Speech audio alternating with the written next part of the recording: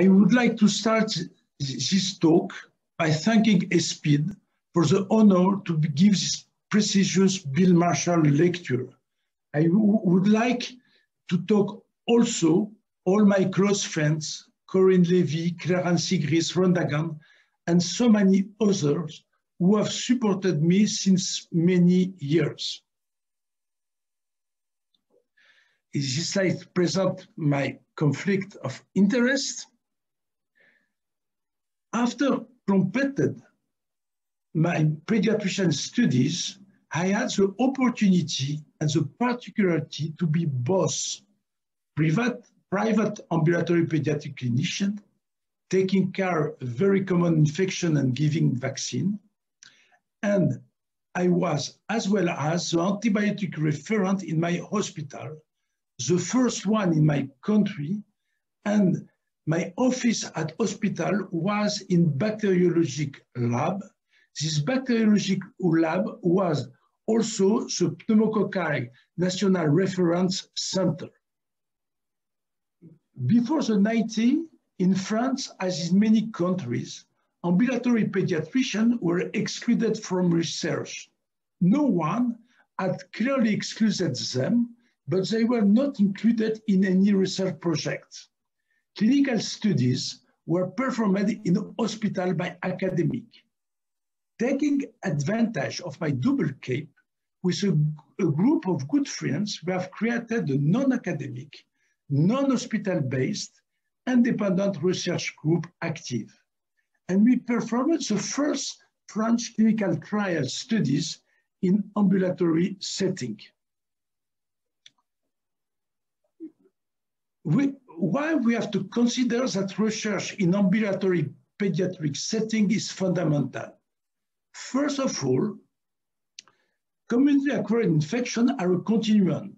The bacterial and viral species involved can induce severe, moderate, or mild disease. The best example is pneumococcus. And pneumococcal infection are represented as a pyramid.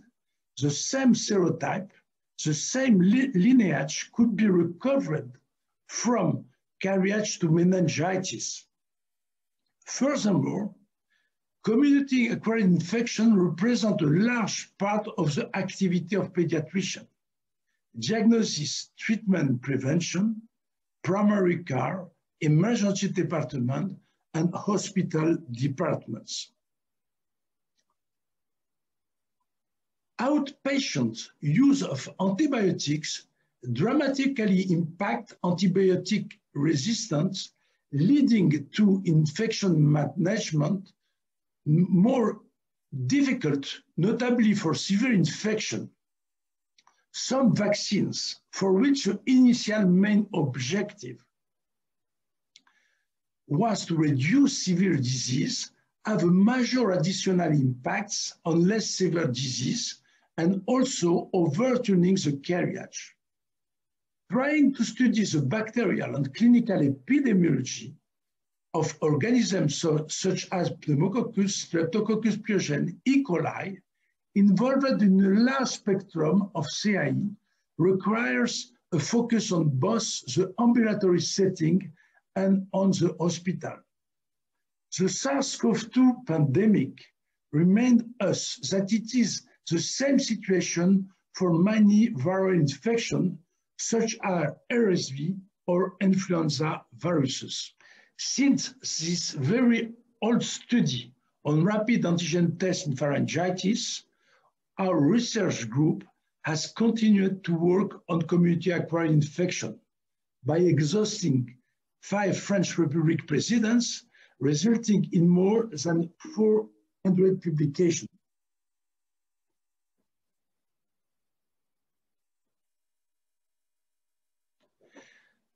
I think that this the first innovative papers that we have published is this one. Our research group was the first to try to assess the ecological impact on composition nasopharyngeal flora and antibiotic resistance. With a network of almost 100 primary care pediatricians, we obtained three nasopharyngeal samples from children with acute otitis media before antibiotic treatment, two to five, six days after the, the end of treatment, and one month after. As you can see in this table, is the carriage rate of pneumococci were dramatically reduced, it is not exactly the same for H flu. The carriage rates of Haemophilus influenzae are relatively few influenced by antibiotic. For pneumococcus, is the percentage of resistant strain among the remaining pneumococci after antibiotics are increased, the risk for a given child to carry resistant pneumococci are not really increased. Since this study, all our studies on acute otitis media have included nasopharyngeal flora sample before and after treatment. Among them, we performed two double-blind studies using the same antibiotics, five days versus 10 days, in very young children with acute otitis media. Five-day regimens as are not as successful as 10 days. The tolerability is not different according to the duration of treatment, and the impact on nasopharyngeal flora are completely comparable. 18 years after, Hoberman and collaborator have reproduced this study and, and have found exactly the same results.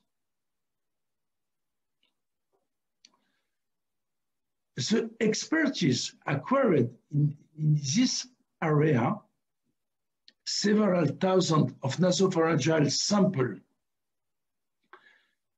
collected in 10 years, allowed us to perform a pivotal study on nasopharyngeal pneumococcal carriage before and after PCV7, then PCV13 implementation. This study was a post-licensing commitment requested by EMA, although other studies in many parts of the world reported similar results for the PCV impact, none were comparable in terms of design, duration, nearly 20 years, and number of patients enrolled, more than 20,000 patients. In order to enrich the proportion of children carrying pneumococci, we choose to enroll only acute otitis media with high fever and or otalgia. This figure shows the follow-up of pneumococcal carriage during the study period. As you can see, the overall pneumococcal carriage rates are only slightly redu reduced. PCV7 serotype are nearly completely disappeared. PCV13 serotype have increased during the PCV7 period and decreased after the implementation of PCV13.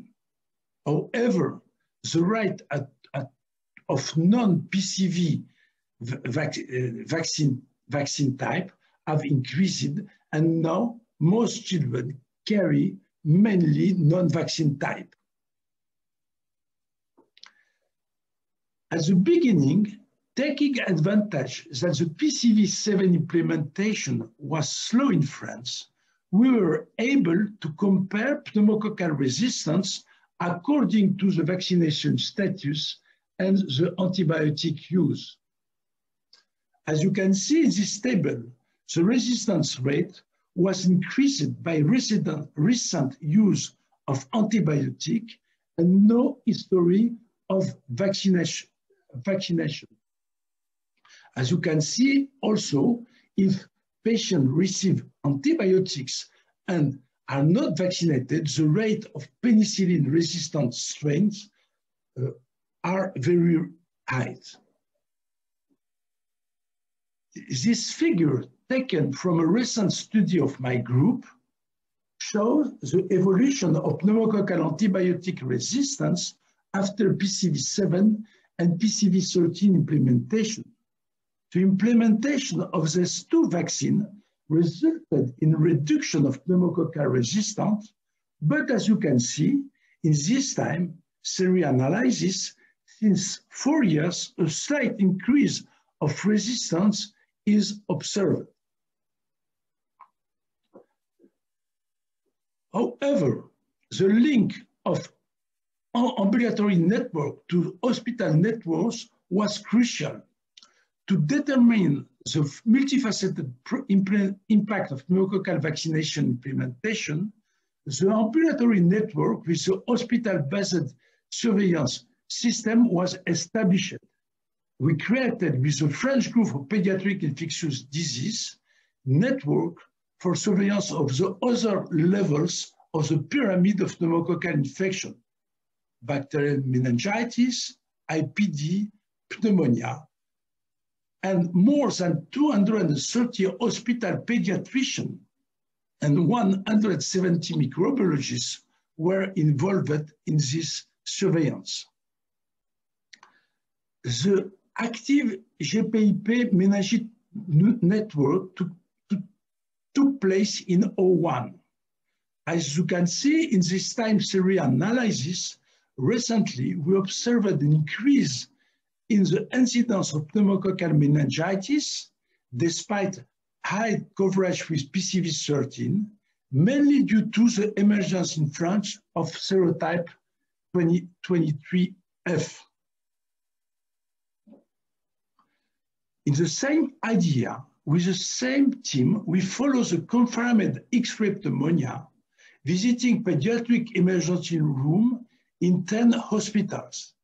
This figure shows a reduction of pneumonia diagnosed during five years and after a stability.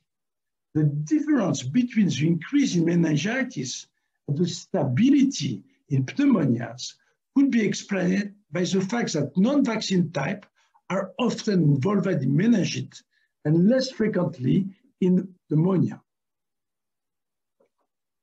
The size of our IPD and carriage cohort allow us to describe invasive disease potential several years after PCV13 implementation.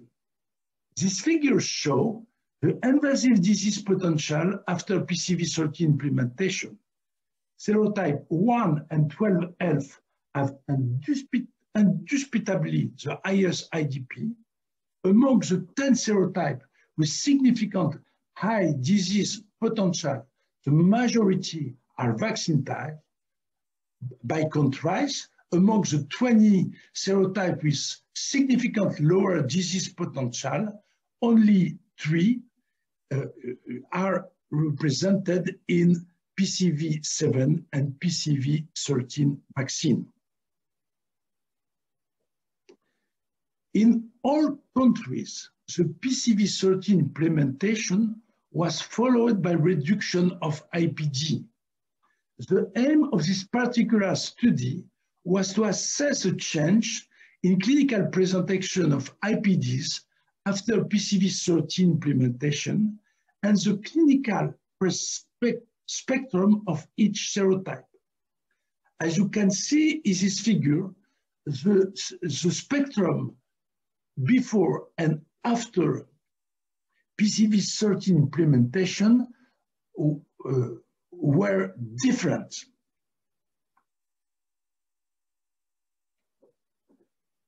This is due to that vaccine type induced more frequently pneumonia than non-vaccine type, and particularly for serotype 1, 7F, and 19A.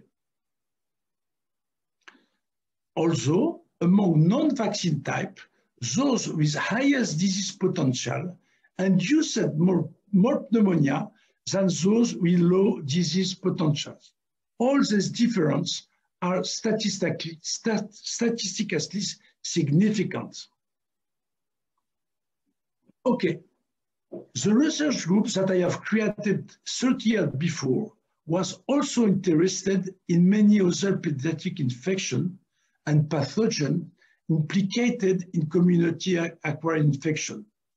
Group as Streptococcus, E. coli, but Staphylococcus aureus and other.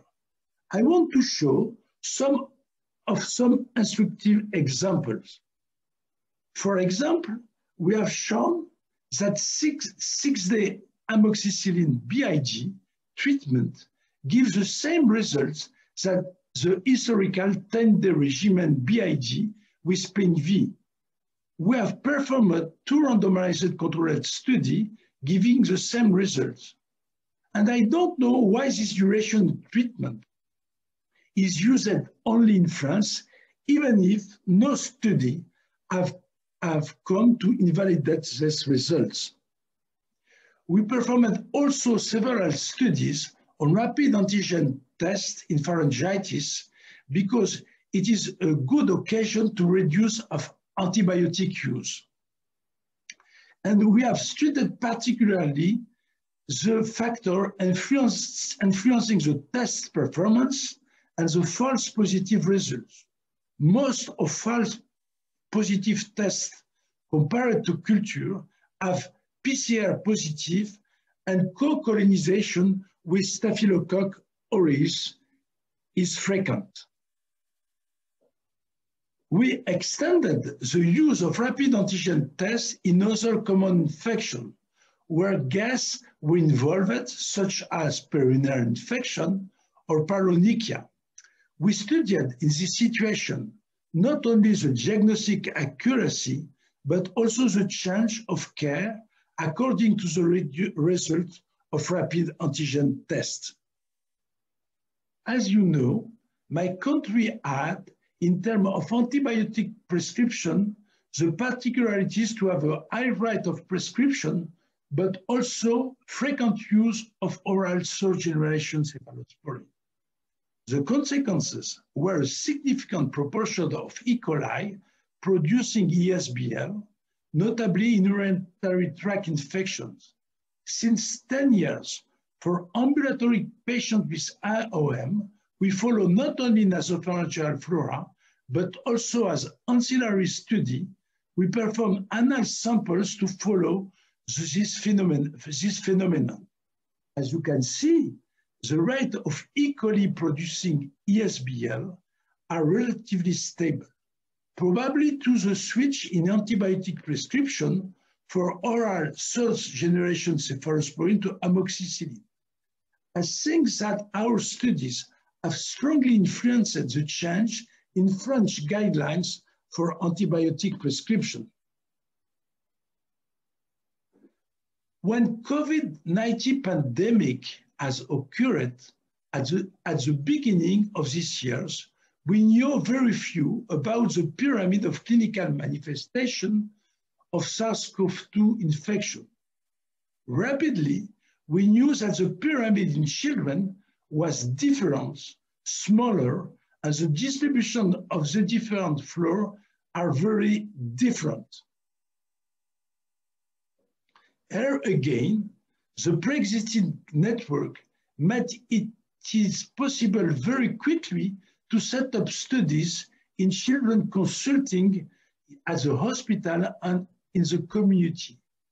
We were able quickly to show that RT-PCR positivity rates were significantly lower than in adults and very few children in the community were infected with SARS-CoV-2.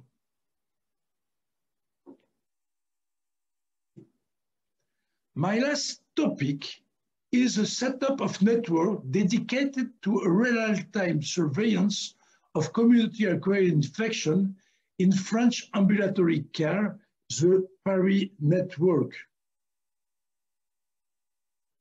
The PARI Network is an hybrid system combining trained investigator and big data. The network includes more than 100 pediatricians distributed in France. These investigators are motivated steadily trained in pediatric infectious disease, and using rapid diagnostic tests. The same so software was used for automated data extraction, leading to no additional data to handle that those required in the in their daily practice. As you can see, we can follow, as other network in France, influenza, bronchiolitis, and varicella, and the curves are very similar. But we can follow also many other dis diseases for which the diagnosis is more difficult and more frequently followed, such as acute otitis media, as you can see in this figure, the number of diagnostic, diagnosis of otitis media by year, gastroenteropharyngitis, but also urinary tract infection, pneumonia, enterovirus infection, etc.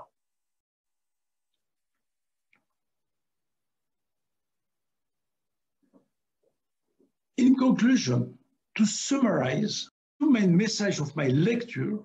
First one, I compare my work as clinician researcher to that of Plugman, digging deeper and deeper furrows and opening new ones at the same time. The deeper you dig the furrows, the deeper you get, and more and more scientific questions arise. The second one, research in community-acquired infection is a, is a pulse with several nested pieces. I want to thank, to finish, all my co-investigator pediatricians repartited in all the French territory. And I want to show to you the picture of a small part of our team. Thank you very much for your attention.